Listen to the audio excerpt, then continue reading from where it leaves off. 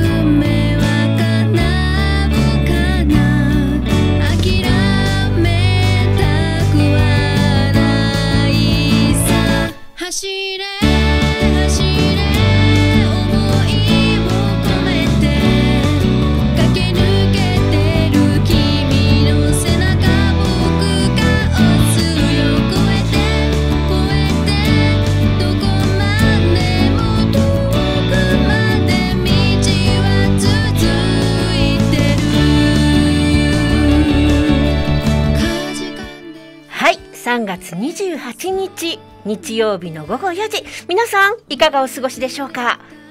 夢を応援するラジオドリームキャッチャー。ナビゲーターの出口優子です。この番組は夢を追っている人を応援しやりたいを叶えるエンタメ系番組。アーティストに限らず年齢も関係なくとにかく夢実現のために進んでいる皆さんを応援していく番組です。毎回ゲストをお招きしてやりたいことや叶えたいことを語ってもらったり時には夢を叶えるコツなどを教えていただいたりそして県内外のライブ情報演劇公演情報オーディション情報などホットな情報もお届けしていきたいと思っています。皆さん1時間どうぞごゆっくりお付き合いくださいね。それでは引き続き番組テーマソング「雫が歌うどこまでも」お聴きください。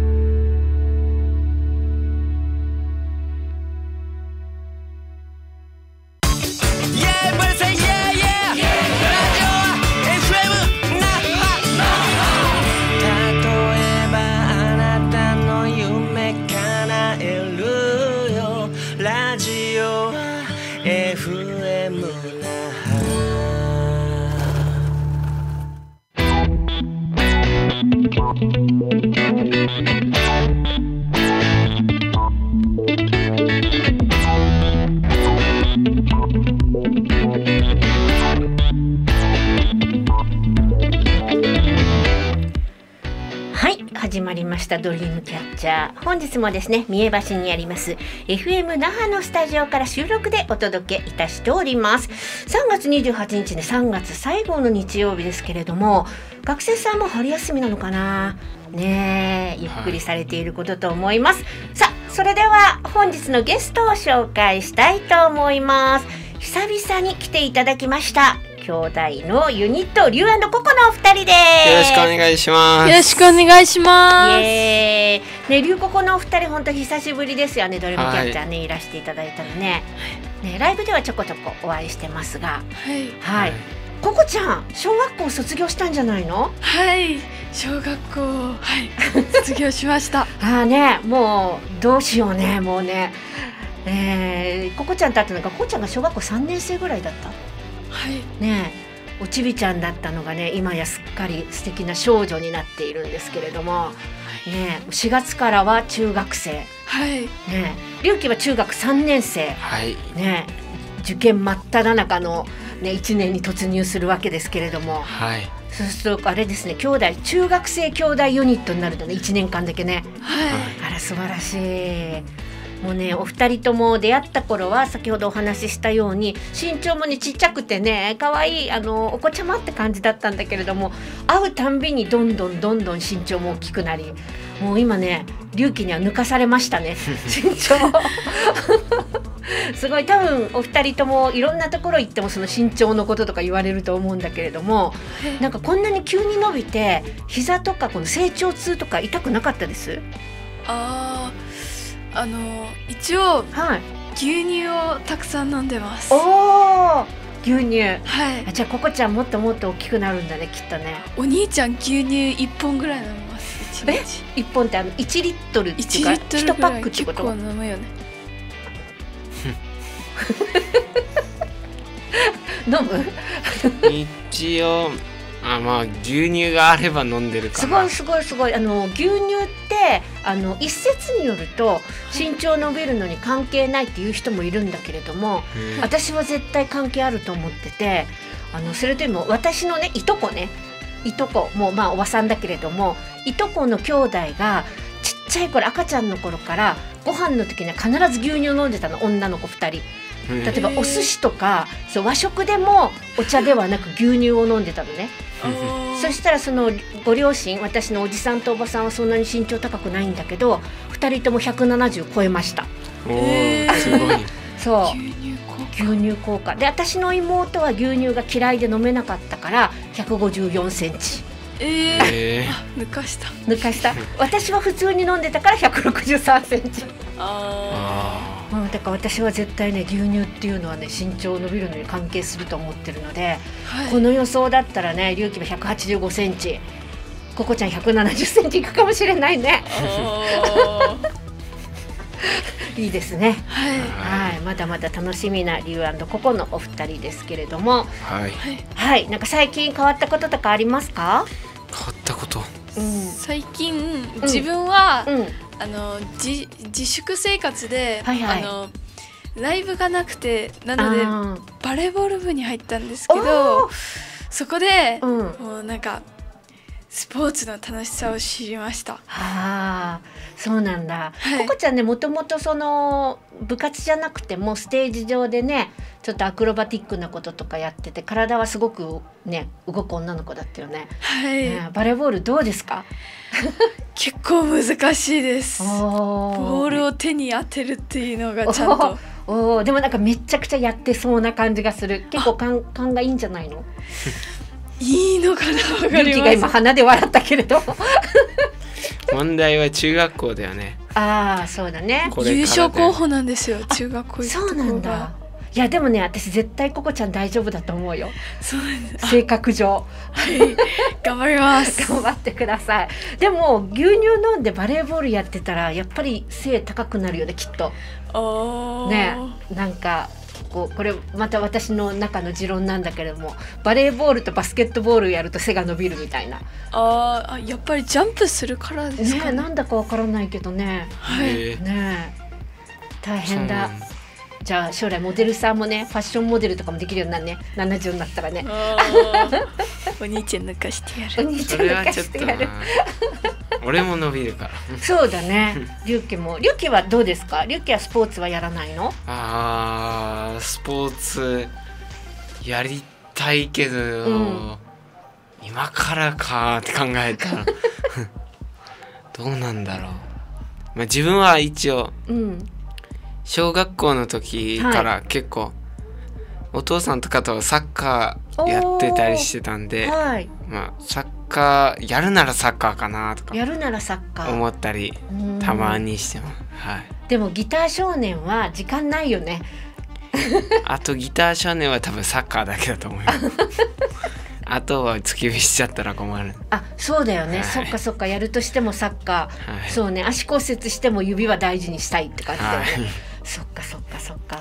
でもあれだね。やっぱりお二人とも成長していくとあの去年見えなかった何かが見えたりするんじゃないですか、はい、なんか新しい世界とか。はい、ね、なんか、うん、自分はなんかあのー、最近までライうん、ライブもライブを楽しもうみたいな感じだったんですけど、うんうん、今はお客さんに届けるってことをちゃんと意識してます。おすごいね、はい、楽しみながらお客さんに届けるっていう感じですか？はい、いやすごい。龍騎は？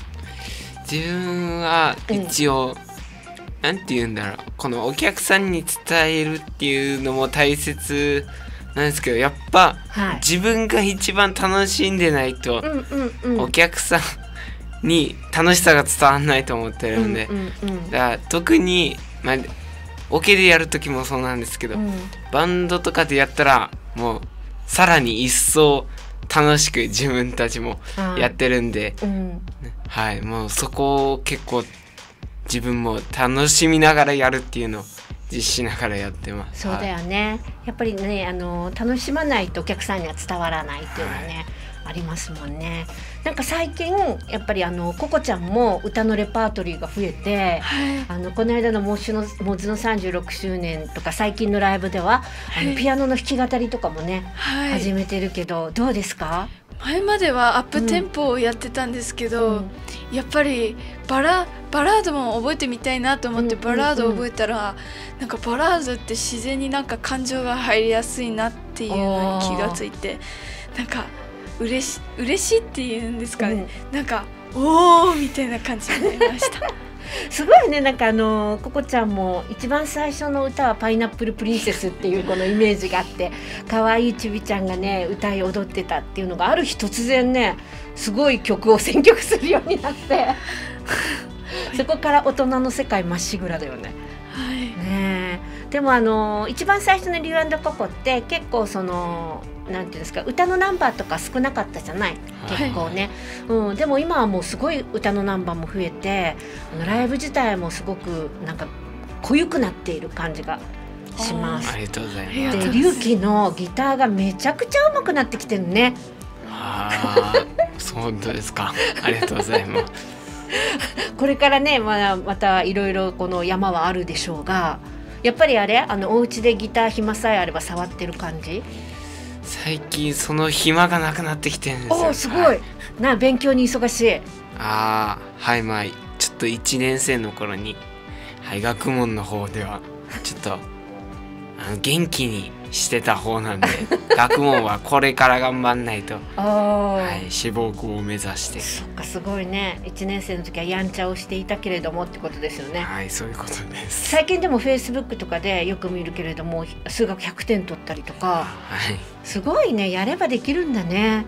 やればできるとか やらなかった時は知らないんだけれどもすごいギターもできて数学100点っつったらもうすごいじゃん。ありがとうございます がじゃあ頑張れば何でもできるということですね。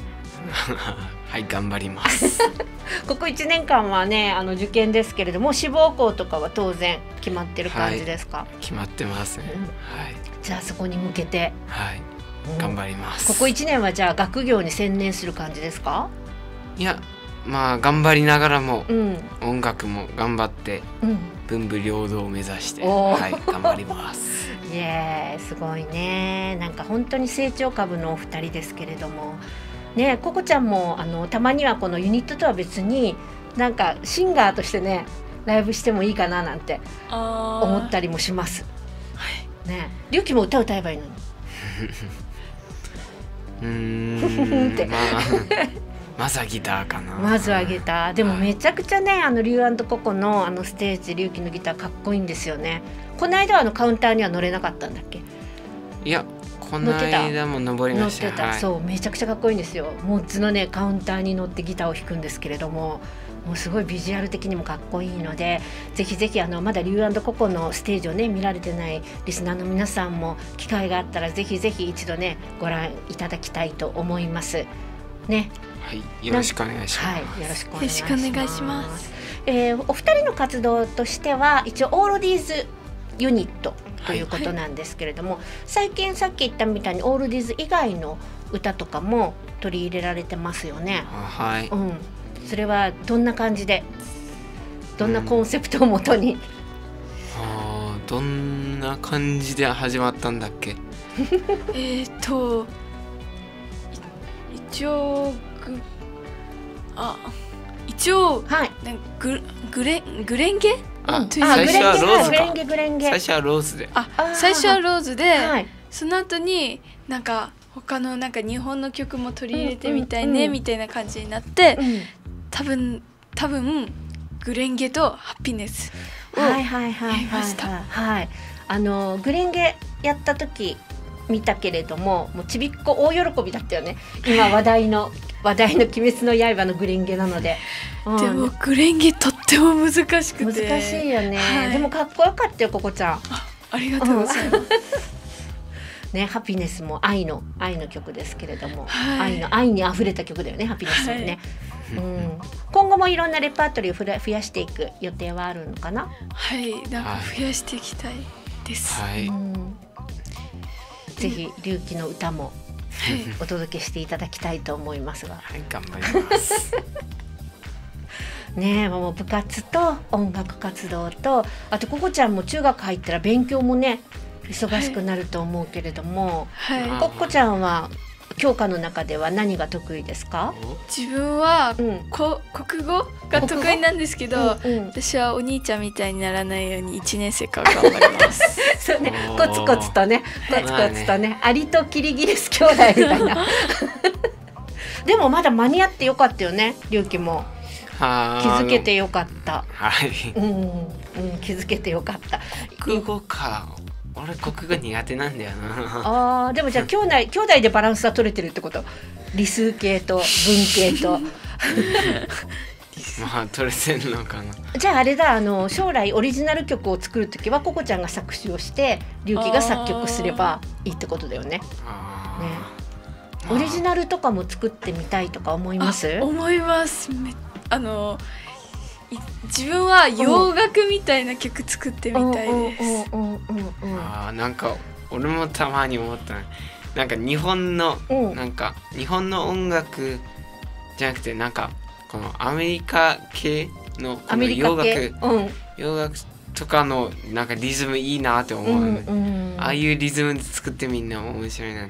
であっちは多分この単純な音楽だけじゃないか音楽楽器とか使ってるんじゃなくて、うん、多分このなんて言うんだろう。ビビートを機械で入れたりとか、ああいうのをしてるからああいうの面白いなってたまに自分も思うからそうね。やってみたいな。なんかこれからどんどんどんどんまたあのお金がかかるかもしれない 今あのスタジオの中に龍子の、まあ、マネージャー兼あのママさんがいらしてるんですけれども お金かかりそうですよこれからね でもやっぱりこうやって例えば次1年経ったら龍樹は高校生になるわけじゃない、はい、そうするとやっぱそういうそういうなんていうの機械を使っての曲制作とかにも絶対興味湧くよね。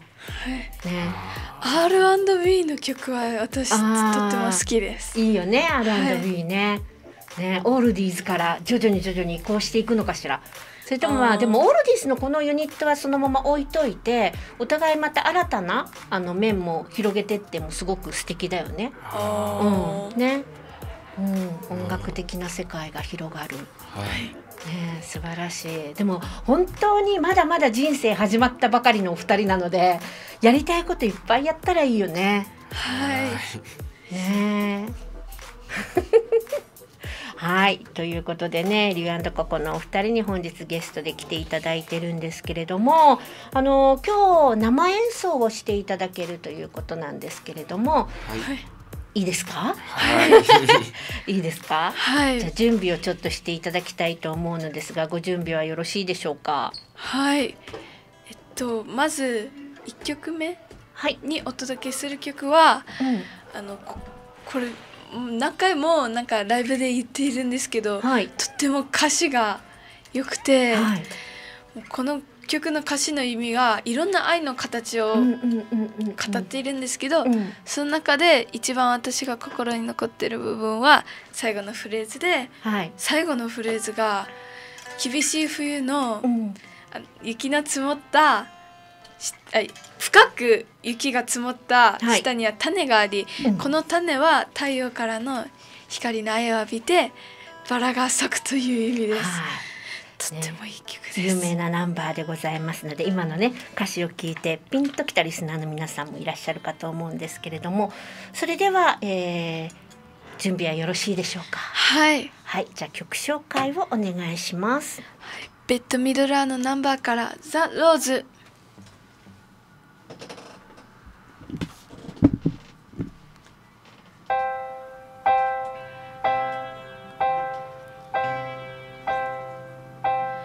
Some say love is the river that drowned the tender reed. Some say love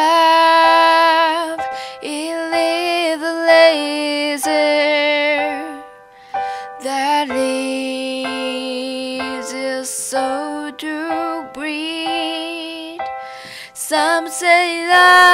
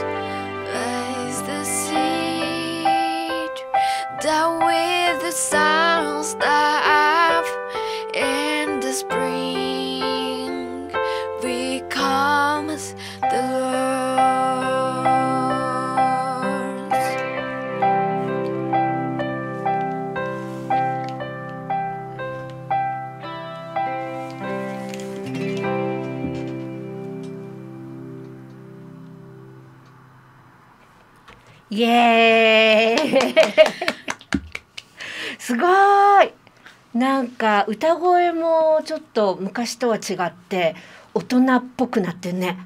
ね、ありがとうございます。この曲は本当にいい曲で、あの映画もね、映画にもなっていたし、はい、すごいあの沖縄の女性シンガーさんみんなこれ歌う曲ですけれども、そうなんですか。本当本当、うん、仲間入りだね。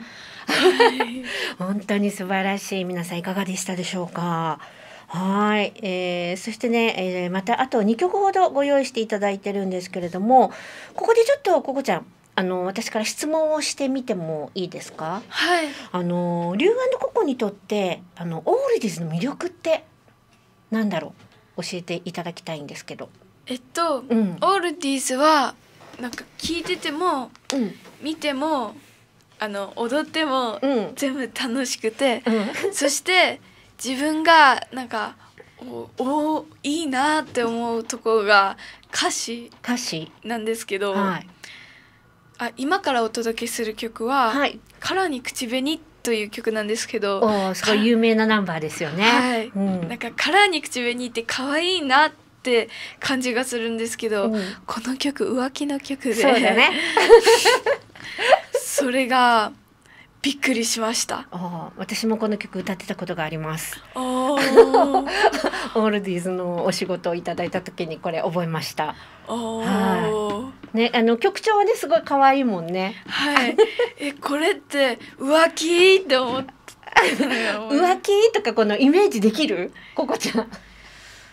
できませんね ねそこら辺はちょっとハードルが高いかもしれないけれどもここちゃんなりにねいろいろ解釈をして、えー、ね、歌詞の内容とかも、ね、考えながら歌作りをしていると思うんですけれどもどうですか？この曲は？歌いやすいですか？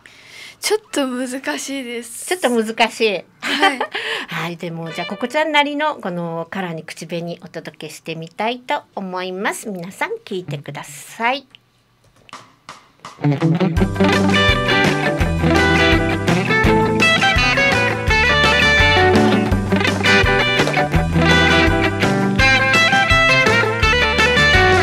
when you left me all alone. I sound like a hound.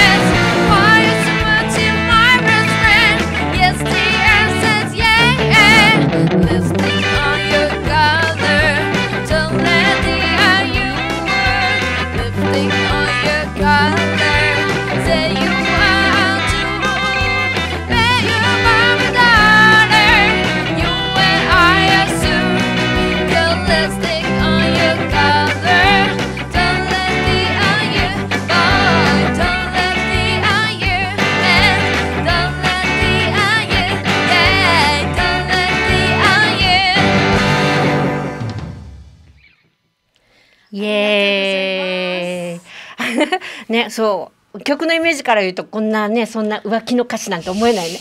はい。めちゃくちゃ可愛い。すごいあの歌の力がすごく強くなりましたねここちゃんね。ありがとうございます。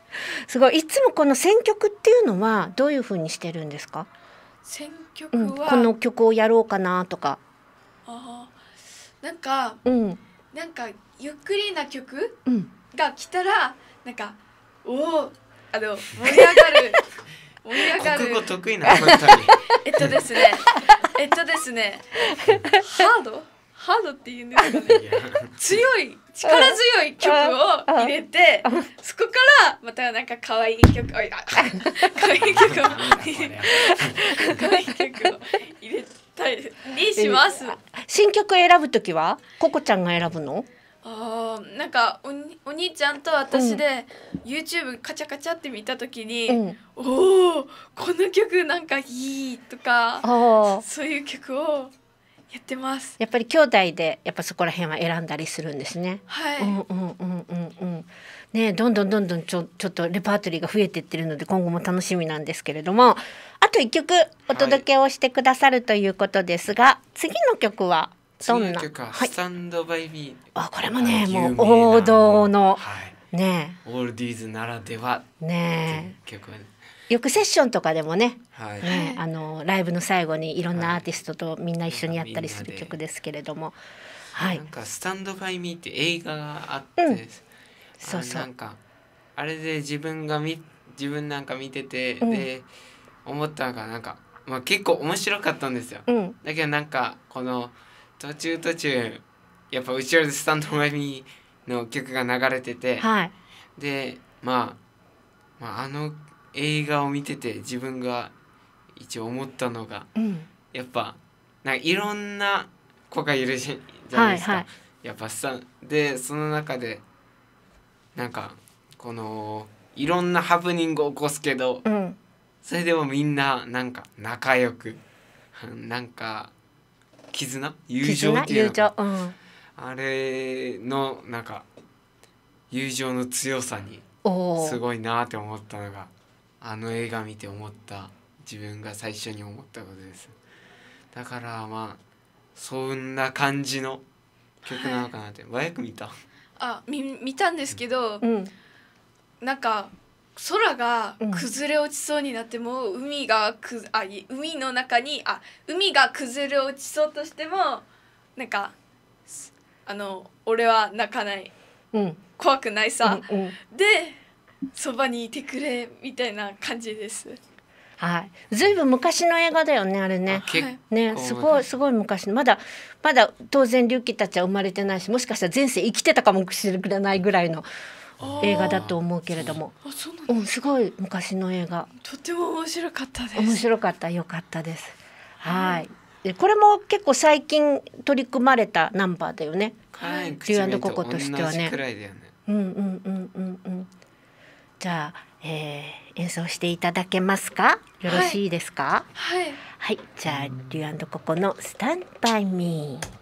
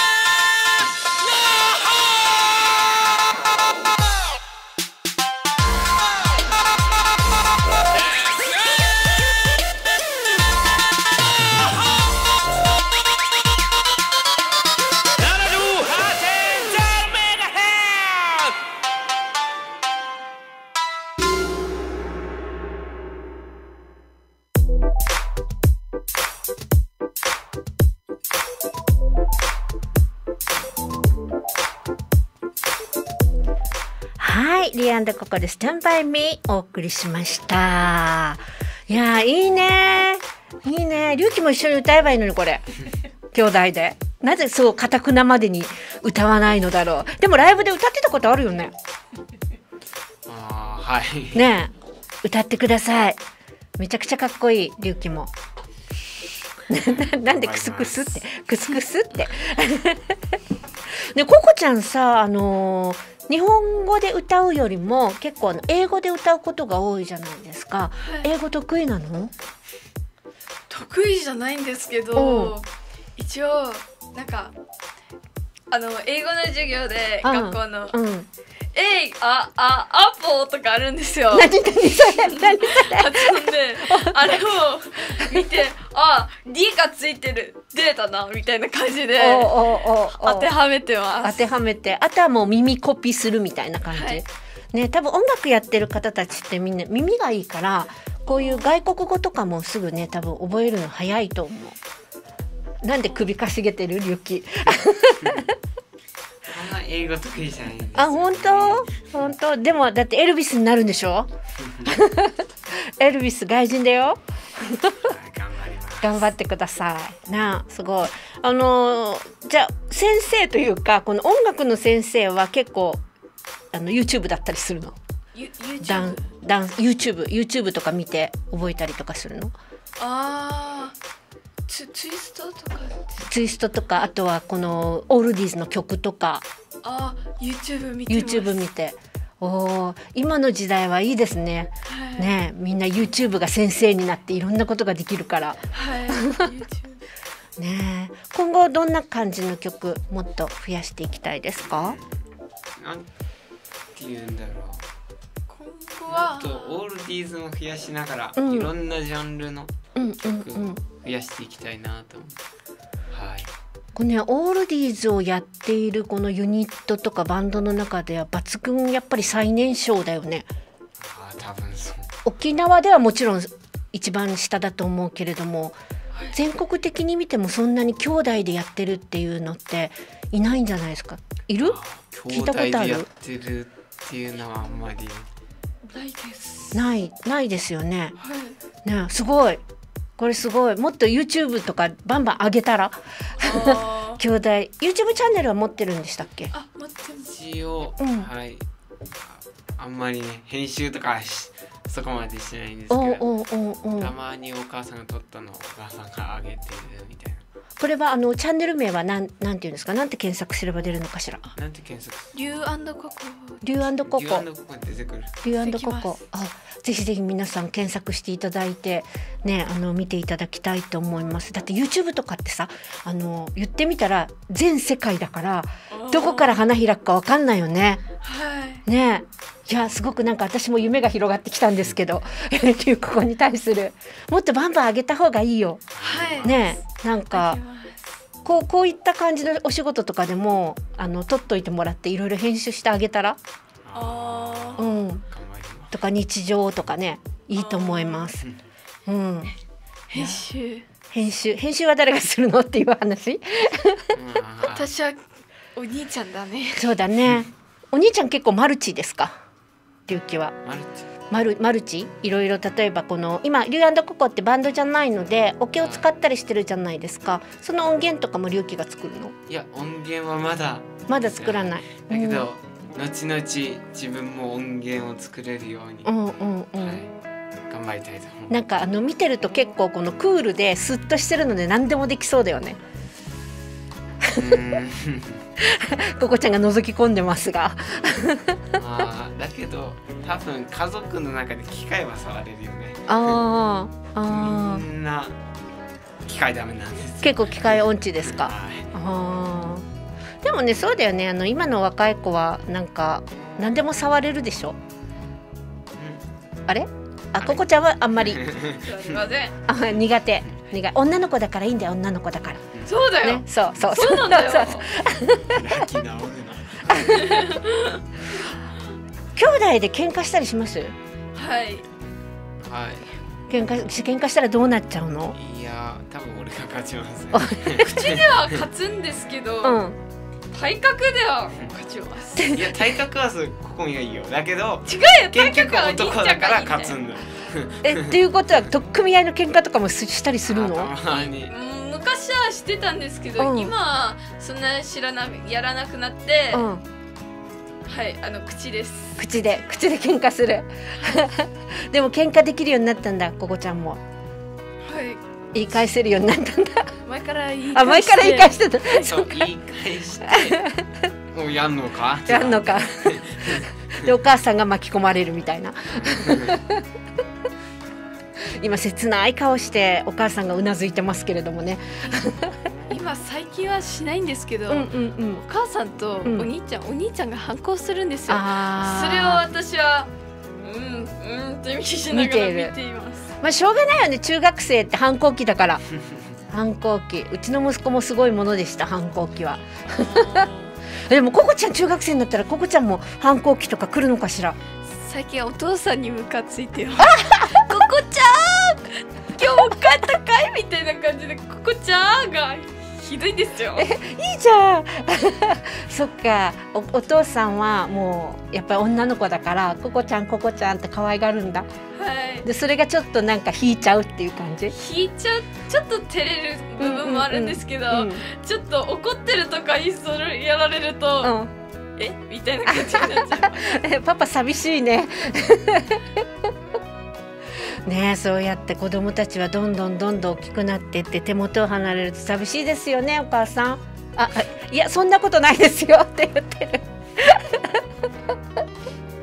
自立を促すということでね。ね。いやでも本当にあのー、子供の成長ってって子供って言っちゃ悪いけれども若者の成長ってすごく早くてあの1年会わないと身長も伸び伸びるしもちろんのことすぐ大人というかねあの全然変わりますよね。ねだから多分龍谷のお二人は会う人会う人に変わったねとか大きくなったねとか言われ続けてちょっとねもうもういいよと思ってるかもしれないけれども。うん、これからもっとだねここちゃんは。あの大人の女の人に向けて中学入ったら女性らしくなり隆起ももっともっと背が伸びてね筋肉もつき。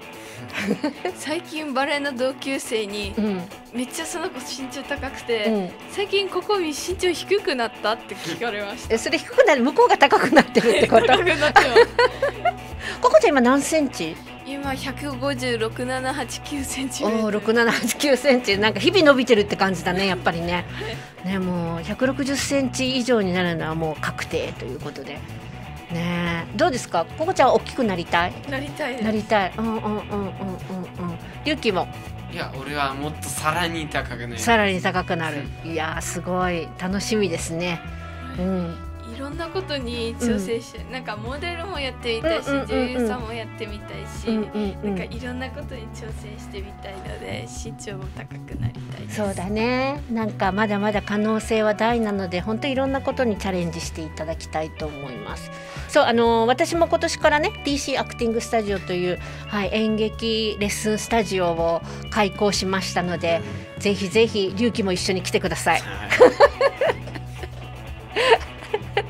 でこれからもあのいろんな例えばオーディションとかいろんなお話も来ると思うのでその時にこの、ね、慌てないように備えて、あのまあ、お話の仕方とかあとはお芝居の仕方とかも、ね、知ってて損はないと思うのでもし、はい、まあ、バレーボールとかねいろいろやることいっぱいあって大変だけれども時間に余裕があったらぜひぜひいらしてください。はい、はい、ということでここでちょっと告知をさせていただきたいんですが、はい、DC アクティングスタジオ毎週月曜日えー、くもじのルーム84というスタジオで行っております。これがねモノレール県庁駅前から、えー、県庁前駅から徒歩3分の場所にあります、えー、レッスン内容としましてはベーシッククラスが、えー、18時15分から20時15分まで。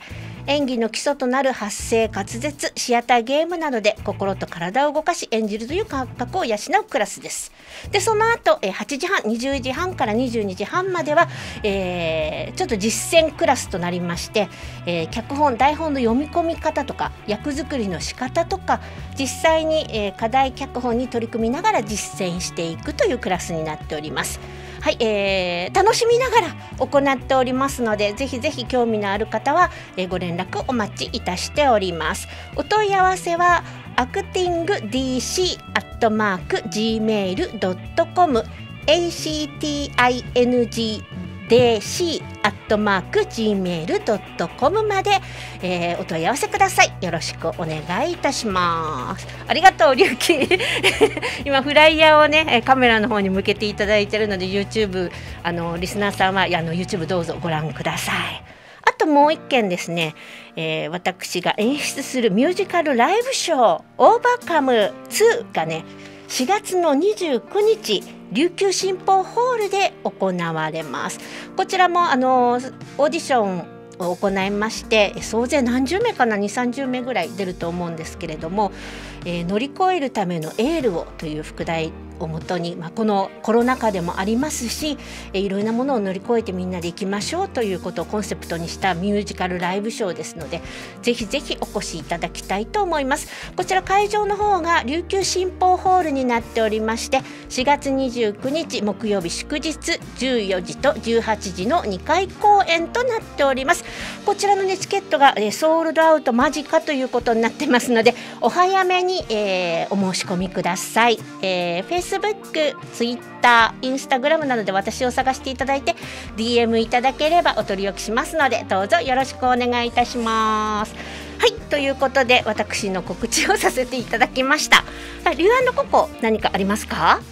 リュウココは今のところ、はい、はい、えー、ライブの予定はないんですけど、はい、はい、えー、もしライブの内容などがありましたら Facebook インスタで、えー、告知しますので、はい、ぜひ Facebook か龍気ここみで琉球の竜に貴族の気心が口でここみではい検索していただけると出てきますのでぜひそちらの方で見てください。よろしくお願いします、はい、よろしくお願いします。すごい綺麗な名前ですよね。琉球の竜に貴族の木尊いなねに心が美しい。素晴らしい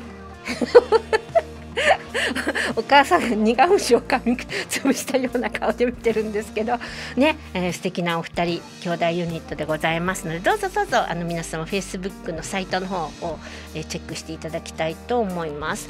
であの私の方もね月に1回ライブハウスモッズさんの方で「Can You Dream」というイベントライブイベントをあの企画してます。それにもねぜひね4月5月もしお二人あの学業に支障がないようだったら出ていただきたいなと思いますのでよろしくお願いします。そちらの方の告知もまたしたいと思いますので皆様、えー、チェックをしていていただきたいと思います。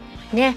本当にこれからさらに楽しみな理由ここでございますがあさっき言ったみたいに YouTube とかもねもっと充実させてほしいな。はい、うんうん。ね楽しみ楽しみ。はい。で今度あのーココちゃんなんか別のリュウココとは別で何かポップスを歌うなんかボーカリストココとして一回ステージをやってみちゃどうよ。っていうふうに。頑張ります。ねその機会も何かで作っていきましょう。はい。ね楽しみだね、はい、ね学業も頑張っていただきたいと思います。はい、はい、はいということですね、えー、それでは、えー、エンディングに差し掛かってまいりましたが、えー、前にねあの出演してもらった時に「あなたにとって夢とは何ですか?」という質問をさせていただいたと思うんですけれども、はい、あれからまたしばらく時間が経っているので、えー、ここでもう一回お伺いしてもいいですか？はい、はい、じゃあどちらから？じゃあお兄ちゃんから、はい、はい前どんなこと答えたかね。まあ夢は夢にとっての認識はそれぞれ変わるので。はい。はい自分はですね、うん、やっぱ夢っていうのはまあいろんな夢が人それぞれあると思うんですけど、はい、やっぱその人がその人自身が持ってる、この目標、はい、だと思うんですよ自分は。でもちろん僕もはい、将来はギタリストを目指し頑張っているので、はい、そこに向けて、まあ、頑張る道筋を作るものだと思うんですよ、うん、だからやっぱ夢っていうのは、まあ、もちろんこの夢がなくても、うん、この今からちょっと先のことでも一応それも夢だと思ってるんで僕。簡単に言えば多分僕が今志望校を目指して、この志望校に行くことも夢だと思うんですよ。はい、でこの夢が叶わなくても、またその先の夢っていうのができると思うんで、やっぱ自分はこの一つ一つの、まあ、夢をこのどうすんどう作ってどう進んでいくのかっていうのが大切だと、うん、はい、思ってんで、はい、これからまたさらに頑張りたいと思っています、はい、はい、頑張っていただきたいと思いますそうね。夢っていうのはその都度多分変わっていくものだと思うし、はい、一つ掴んだらまたその先にもまた出てくるもので永遠にこう掴みながら生きていくものだよねって私は思ってるんですけどココちゃんはどうですか？自分も、うん、夢はなんか自分の思い描いている目標やなんか理想、だと思うし別にあお兄ちゃんの言ってることと思ってるんですけど 自分もなんか夢はあのな夢がなくてもなんか目標とか、はい、なんかもうやりやり遂げたいっていうや、ことがあったらそれも夢だと思います。はいそれは叶えられそうですか？はい、うん、大丈夫だよね。ね。なんかあのー、最近私もすごくよく納得するのは自分でできると思ったら実現にされるんだよね。なのであどうかな？不安だな？できないかもしれないなと思ってるとそのマイナスな世界を自分が作り上げて引き寄せてしまうっていうお話を聞くじゃないですか？だからやりたいこと叶えたいことがあったらもうできたと思った方がいい。しリューココなら絶対いろんなことつかめると思うので、うん、ぜひぜひ頑張っていっていただきたいと思います。私も頑張ります、はい、ねじゃあ、えー、あれだね。龍樹のまずあの目の前の目標は志望校入学、はい、まあ多分一番はい。